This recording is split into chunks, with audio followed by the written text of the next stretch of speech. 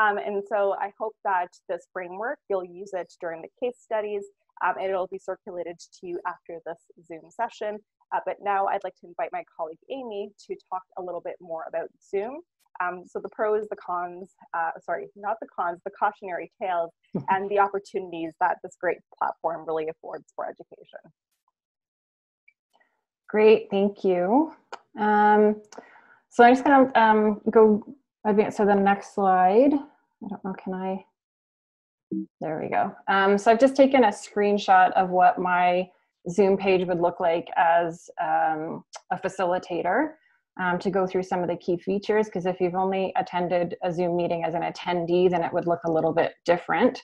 Um, so we'll go through just the, uh, the items that are listed here on the screen. So um, getting a Zoom account, so anyone can sign up for a Zoom account. So I can see from the chat that there uh, are some people affiliated, not necessarily with McMaster. So getting an account um, would be through the zoom.us website if you haven't already signed up for one. Um, McMaster, for those teaching through McMaster, does have a site license, and so they've asked us if we're teaching through McMaster to go through um, the UTS. There's a, a page through um, Technology Services to request a Zoom um, McMaster account for those who are teaching with McMaster. Um, and that's sort of the first step. Um, once you've got a Zoom account, as Sarrah has talked about, there's a number of features that you have to enable in advance. Um, and once you've done that in advance, can change some of the icons uh, and buttons that are sort of down at the bottom. Um, so the first thing that you'll need to do once you get an account is to log back into that account on the web portal um, and actually start scheduling your meetings. So a few tips around scheduling. Um, so you need to set up a number of features in advance through that scheduling portal. Um, I would recommend setting up recurring meetings if you've got weekly classes. Um, that helps so that you then don't have to send out the link week by week by week, but you can send out the link once to students or your learners. Um, so I'm doing a 12 week PBL and I've only had to send, I'm on class five tomorrow, I've only had to send a link out once and it continues to, to work. So there's an option to click off when you're scheduling your meeting um, to set up a recurring meeting and it'll ask you to set up how often. So I find that's very helpful and it prevents you from having to then send the link out multiple times um, if you're, you're meeting weekly with um, students or learners. Um, it's very easy then once your meeting has been set up to copy and send the link. There's a button to copy and paste it to send it to people. Um, the other button that you can use is the little eye icon that's at the top left of our screen um, right now. So on my button, it would be here. Um, and that'll also give you the meeting information sort of in real time. Um, I don't know, there's a lot of meetings that I've attended where I get last minute emails from people. What's the link? I know we're supposed to be meeting. I can't remember. Um, and then I've got to log out or sort of get out of Zoom, go in my email, find out where the link was or log back into the web portal. So I found that's a quicker way that, that the little uh, information icon could quickly just copy the, the meeting um, to send it to somebody who's needing to join sort of last minute or who might get disconnected and need to reconnect. Um, so that's sort of a quicker way to have the, the copy and paste function right there. Um, so your meeting information button is there. Um, the other things that you can set up while you're scheduling, there's a number. I can't go through everything because there's lots. I would really recommend playing around with the features on Zoom, get your family to do a Zoom meeting where you're the facilitator first, just to see what things look like um, and get used to um, how to set things up. There's lots of options, and I find it's fairly intuitive. I'm not hugely tech savvy, but I'm able to navigate quite well. Um, so, um, audio and video settings for participants, so you can set whether or not you want them to have video or audio or just the host.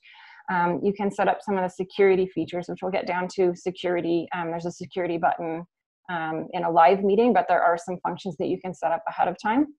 And I'll talk about that in a bit more detail in the cautionary tales. But you're able to um, uh, set up a, a, waiting room. You can um, disable um, that students or learners can't join before the host. You can't have people sort of sitting in your meeting ahead of time. Um, you can set it up so that you require um, users to have a password to get into the meeting, and I would highly recommend doing that for all your meetings. And that just decreases the risk that someone randomly out there could guess what your meeting ID is and get into your meeting. Um, the other option is that you can um, lock, another security feature is to lock the room. So once you know that everybody, um, if it's students in your class, is in and you sort of take an attendance, or um, you can also lock the room so that people then can't get in without sort of knocking or asking. Um, other options that you can set up when you're scheduling is whether or not um, uh, participants will be able to screen share. you can also set that up on the fly. Um, so I sort of enabled the security button on my screenshot here that you could quickly either enable or disable screen share, but you can also set that up in advance. Um, enabling breakout rooms. Um, so I have the breakout room button on my screen down here um, at the bottom, um, but I had to set that up ahead of time. It took me a while to, to figure out when I was first using this. So that is something that you have to enable um, when you've scheduled your meeting um, and also have to enable when you've um, created your account that you want um, to create breakout rooms. and the breakout rooms can either be done on the fly, you can assign people randomly, uh, breakout rooms can be pre-assigned in advance. So if you know that you already want to put people into certain groups, you can assign them by uh, email address. Um, the trick with that is then the learners have to use the same email address that you've you've used for them. So I have about half my class who the breakout rooms pre-assigned will work and the other half haven't logged in with a McMaster email um, and I uh, have to manually assign them, but that's the other option. You can manually assign them and it works quite quickly, um, even on the fly to be able to assign people to breakout rooms. Um, other functions, um, you can automatically set up to record the meeting. So Teresa's recording this and she hit the record button sort of listed at the bottom, but you can automatically have it set up so that if you know you want to pre-record um, lectures and you know we want to make sure that you don't forget to do it, you can set it up ahead of time. Um, another thing that you'll need to enable um, ahead of time, I don't have it, I just enabled it after I did this screenshot, um, is the polling feature. So if you want to add a poll, you need to enable that in your account and then within that scheduled meeting, you need to scroll down and actually add in your polling questions. So I have a little bit more about that, but wanted to just go through that in terms of um, the things you need to set up in advance um, through the scheduling. Um, once you've um, sort of started the meeting, um, like I said, the meeting icons in the top left, your participants. So um, I have to take attendance in the classes that I'm teaching. So it's nice to have the participant list that's sort of listed there. the chat function, again, can be uh, visible on the side or not, depending on how much screen room. I always find I'm sort of finding um, running out of screen room to be able to see all my learners. So even just managing how many widgets are sort of open at a time can be um, tough. Um, the chat, you can enable that ahead of time to be saved. Um, so if you um, are having students sharing ideas or sharing files in the chat that you can um, automatically have that enabled so that the chat can be saved if that's something that you then want to save and send out to people. Um, that has to be saved um, uh, ahead of time. So I've talked a little bit already about some of the security features um, that you can set up ahead of time. Um, the security button down here, when you're live in a meeting, you can lock it. Um, so usually, you know, five ten minutes after my class has started, I might hit that lock button then. Um, and then I can allow or disallow, enable or disable um, whether or not I want participants to screen share, chat, whether they can change their name. Again, if I need to make sure um, it is quite different without being able to see everybody's faces. So I'm having, it's taking me longer to learn my students' names. So it is nice to make sure that they have their proper name um, listed. So if they can rename themselves, if they're, um, you know, iPad or, um, and actually put their names, it does help. And the participants can do that under the, the participant bar um, and change their names there. Um, and again, you can enable or disable whether or not um, students can unmute themselves or whether that has to be done by the host. Um, so again, the breakout rooms, the button, you have to enable it in advance, but the breakout rooms, um, you can hit that button and uh, it will ask you to pre-assign or it'll ask you whether you want to randomly assign people or manually assign. And you just hover over their name and uh, assign them to a group. And it'll ask you how many groups that you want to create. Um, the whiteboard function. Um, so the whiteboard function I can show, because I think I can screen share here if people aren't familiar. I don't want to get out of the present. So the whiteboard, get out of it and demonstrate and come back. So um, is it okay if I show the whiteboard? Is that okay? Yes, absolutely. Yeah, definitely. Sure. Yeah, I didn't know how much back and forth to do from the presentation. and All you want. So I'm teaching PBL, so I feel the whiteboard is a a good function to have when we're concept mapping or generating ideas. So you can draw you know type in text whatever you like. You can um, change uh, the color. You can add um, drawings um, you can add and then there's the function to save it doesn't need to be set up ahead of time but you can actually just click the save button and then send that to students if you needed to. So the whiteboard i find especially for applications related to pbl when we're doing a lot of concept mapping or brainstorming um, the whiteboard's a good um, a good function, and then you're not necessarily changing between too many applications as well too. Thanks, Teresa. Um, okay, so I'll stop sharing that and go back to our slides. Um, Uh, polling, I just want to talk a tiny little bit more about polling. So uh, polling, again, has to be set up in advance. It can't do that sort of on the fly, and the button would end up um, at the bottom of the screen. So you can add a number of polls. Polls can have a couple different questions. If you wanted to add in a couple of multiple choice questions about certain content, you could add one poll that had a couple different questions. Um, and then you would just click on the polling um, button um, and it would pop up the poll question that you wanted to ask and it would poll um, the users in real time. Um, you can also then share the results with students um, and then you can reset it and poll again. So if, I don't know, you wanted to do sort of a pre and post, you could poll at the beginning of the class and poll later to see if their answers change sort of towards the end of the class. Um, but I did find um, if you want the questions to show up separately, it needs to be created as two separate polls because if you add two or three or four questions under one poll, they'll all pop up together um, when I was sort of playing around with the polling function. So um, so major concerns um, uh, that people are worried about, um, and then we've put in some sort of workarounds or some tips or ideas that we might have about addressing those worries. Um, so decreased learner engagement um, has been a, a, big concern sort of discussed even in our pre-survey, uh, but also in the literature around um, online learning and just some ideas that we thought about around increasing learner engagement as the environment online is a bit different um, is really discussing those upfront, establishing those norms with your group, um, establishing some of those group contact rules. You know, I had a chat with my students about, you know, I want to make this as interesting for you. So I'm really going to rely on you guys to be involved and be active and, and participate in discussion.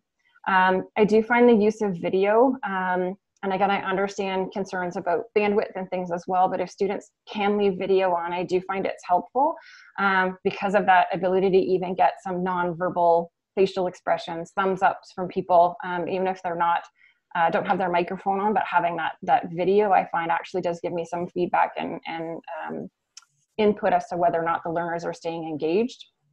Um, really working on building in opportunities for engagement. So again, using those breakout rooms. Um, if students are reluctant to talk in a big, larger group, then um, having them sort of move off into a breakout room, even for five minutes as a sort of think, pair, share kind of activity. Building in opportunities for discussion questions. Um, having opportunities um, if people are in breakout rooms or doing small group work um, to have note taking, whether that's through Google Doc and sharing summaries that they're set off in those breakout rooms and actually have a task that has to keep them engaged um, and building in those opportunities as you design um, your lesson. Um, and then even encouraging the use of um, chat for participation. I'm thinking particularly even in um, larger group sessions where um, having everybody chime in verbally might be a little bit difficult, but even using the chat for participation is one um, at least benefit I find with online um, teaching that if people have um, quieter students that sometimes typing might even um, encourage them to participate more so than they would be comfortable putting their hands up in a, in a live session. Um, security concerns. Um, again, I think Zoom has responded a lot uh, as we all sort of quickly moved online in mid-March. And I sort of discussed a number of these. So when you set up your meeting, making sure that there's a meeting password that's there as an extra security feature um, enabling the waiting room. So as the host, you have some control over who is admitted into that meeting, um, disabling the join before host option, um, locking the meeting after it's begun, um, and disabling the option for attendees to share screen. Um, I don't necessarily do that, um, but again, if it was a, a, really large meeting and you wanted to make sure that that someone wasn't able to get in and then share their screen, then that would be another good security feature to be able to do. And then some pros. Um, I think we hear a lot about the cons, but I think there are a number of pros and what you could be excited about too. Um, I think online gives us a number of opportunities to engage in a new way with learners. Um, I mean, the commute's better, right? With online teaching, you save a lot of time. Um, so overcoming challenges due to location and timing. I think as everyone's very busy, you know, there's everyone can think of an example of a time where you couldn't attend a meeting because you were you couldn't be two places at the same time right being online affords you a little bit more of that opportunity um, so challenges related to location and timing um, uh, are easier to overcome um, online i think Um, again, the breakout rooms for small group discussion. Not that you couldn't necessarily do small group discussion in person, um, but I'm thinking even about physical barriers, about some of the rooms that you might get or rooms that you're assigned, especially in larger groups. If they're lecture style seating, um, breaking out into small groups when your chairs can't turn and you don't have tables um, and the physical space just doesn't allow for that um, can be a challenge. Um, and so breakout rooms are great to be able to do that online. Um, I think it does afford some alternate ways for participation, especially for quieter learners. Um, I teach first year students who, you know, coming into our nursing program are 17 or 18 years old and often very um, quiet and shy. And I think even just encouraging them um, breakout rooms in smaller groups, um, easing them in with sort of the chat function. It just gives an opportunity for quieter learners or in larger groups for people's um, voice to be heard. Um, and online teaching, not necessarily with Zoom, but overall really has, I think, increased our ability to share information. So again, not unique to Zoom, but being able to share files, um, videos, posts, resources, sort of in real time, um, I think has really increased our ability to share um, information in an online environment, which we might not necessarily be always be able to do face to face. I think again now everyone sort of has a laptop and is online, and that sharing um, can happen in real time, but uh, online definitely affords that uh, as a bonus.